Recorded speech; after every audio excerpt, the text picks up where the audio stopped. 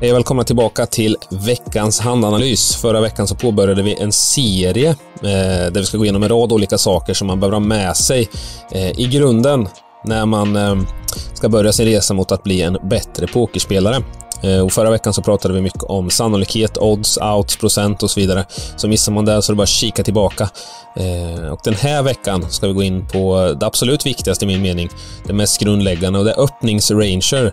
Eh, när man ska bygga en strategi så vill man väl ha ganska så bra koll på vilken typ av händer man ska spela i olika positioner. Och det vi har valt att fokusera på den här gången, det är när man har runt 30 big blinds i en turnering och vilka händer man ska racea när man är först att agera. Eh, och först och främst så tänker jag här att eh, Tofflan sitter på knapp, Smurfen cut-off, Bobben hijack och CF på lowjack. Eh, så ni namnet på de olika positionerna. Och jag har tagit fram eh, två exempel här eh, på mm, ranger som, som jag själv kan tänka mig öppna i de här eh, scenarierna.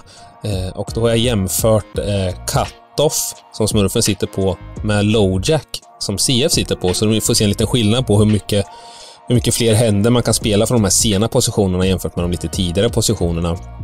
Och om vi börjar med, eh, med lowjack då, som eh, CF sitter på här, eh, så ser ni pop-upen här vilken typ av händer som jag kan tänka mig att racea om det fullat fram till mig. Eh, och det motsvarar ungefär 25% av alla starthänder som finns i Texas Hold'em.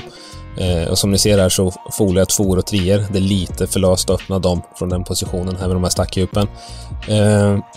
Men annars är det säkert en hel del händer här som, som många foldar som man bör öppna. Eh, och sen så utefter det så får man göra lite justeringar också. Om man har en aggressiv motståndare efter sig, ja då kanske man öppnar lite färre händer. Sitter man på ett jätte, jätte, jätte tight bord, ja men då kan man öppna ännu fler händer. Kanske man erasar S8, S7, kung 5 suter de här händerna. Um, om vi jämför det då med um, cut-off som smurfen sitter här på, uh, så ser ni att det är väldigt mycket fler händer som poppar upp här.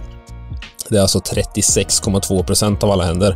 Uh, en, en jättestor ökning och det är alltså bara två positioner senare eh, som, som det här sker. Eh, då får ni liksom en liten övergripande bild över hur mycket, mycket aggressiv man kan vara när man närmar sig knappen eh, jämfört med om man sitter mycket tidigare. Då.